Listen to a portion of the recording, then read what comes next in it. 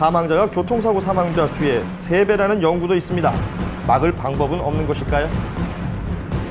서울의 한 병원 수술실입니다. 이곳에서 의료사고를 막기 위해서 하는 가장 최선의 노력은 거즈 카운트 하겠습니다. 하나, 둘, 셋, 넷. 바로 원칙에 충실하는 것입니다. 수술 전과 후에 사용한 기구의 숫자를 확인하는 것은 다섯 장. 수술실의 기본이라고 하는데요. 하지만 장. 의료사고를 막는데 이보다 확실한 방법은 없다고 합니다.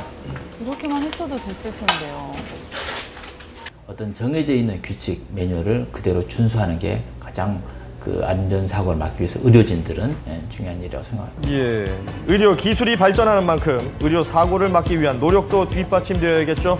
환자와 의료진 모두를 위해서 말입니다.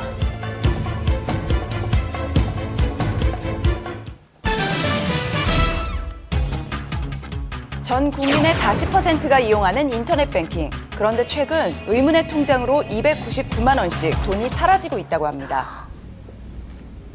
굉장히 큰 액수인데요. 어느 날 정체 모를 계좌로 빠져나간 돈, 금액은 모두 299만 원씩이었습니다. 메시지가 도착했습니다.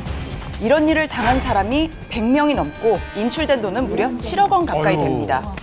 그중 한 피해자를 직접 만나봤습니다. 지금 총 3건이 인출됐는데 금액이 298만 1천 원, 그 다음에 298만 2천 원, 298만 3천 원 이렇게 천원 단위로 세 번이 빠져나가가지고 단 2초 사이 감쪽같이 사라진 900만 원. 894만 6천 원. 과연 무슨 일이 있었던 걸까요?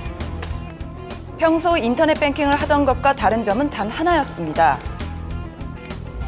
이상하다. 왜 확인 버튼이 안 눌러주지? 단순한 컴퓨터 오류인 줄 알았는데 알고 보니 돈이 빠져나간 겁니다. 음, 정상적인 사이트였고요. 평소에 즐겨찾기로 제가 해놨던 사이트 그 경로를 통해서 접속을 했고 마지막에 이체 실행 버튼만 클릭이 안 됐었거든요. 기존의 인터넷 뱅킹 사기는 진짜와 비슷한 가짜 사이트로 소비자를 속여왔습니다. 사이트 주소를 자세히 봐야 차이를 겨우 알 수 있습니다. 보안카드의 비밀번호를 전부 입력하도록 유도하는 수법이었죠. 문제는 정상적인 금융거래 사이트에서 거래 시에도 이 같은 피해가 계속된다는 겁니다.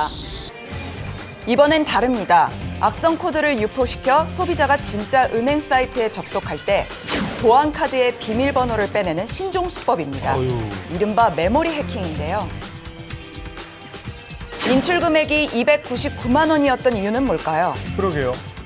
인터넷 뱅킹은 300만 원 이상 인출할 경우 본인 인증 절차가 까다로워지기 때문입니다. 그 수법이 보다 고도화되고 지능화되는데 그 원인이 있다고 볼 수 있는데요. 네, 인터넷 뱅킹 거래 과정에서 비정상적으로 종료된 경우에는 새로운 어, 금융 사기 수법으로 의심할 필요가 있습니다.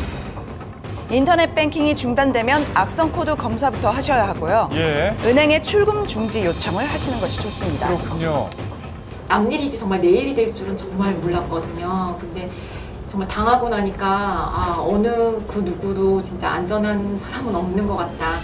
불안하네요. 인터넷. 뱅킹 사기는 지금도 진화하고 있습니다. 방심하는 단 몇 초 피해자가 되는 금융 사기. 각별한 주의만이 소중한 재산을 지킬 수 있습니다. 바짝 네, 보면 항상 처음 보는 수법으로 날로 진화를 하더라고요. 네. 스스로도 각별히 주의를 하셔야겠고요. 또 금융기관에서도 좀 속 시원한 방안 빨리 마련해 주셨으면 좋겠습니다. 네, 자 다음 소식은요 전설의 사냥꾼 전해드릴 텐데 네. 오늘은 그냥 외모만 봐도 단숨에 사냥꾼을 제압할 것 같은 분이 나와주셨습니다. 느껴집니다. 네. 여기 계시는 우리 모두를 한 번에 다 왜소하게 만들어 보신 분인데요. 하지만 이분을 만나면 누구나 몸짱이 또 될 수가 있다고 합니다. 네. 헬스 트레이너 아놀드 홍 씨 나오셨습니다. 어서 오십시오. 안녕하세요. 안녕하세요. 건강전도사 아우. 아놀드 홍입니다. 예. 예. 제가 오늘 소개할 전설의 사냥꾼은요.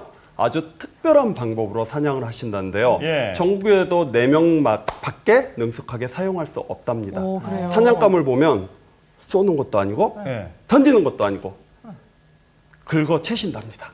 사냥감을요. 무슨 말인지 모르시겠죠? 예. 지금 확인해 보시죠. 모를 때는 확인해야 돼요.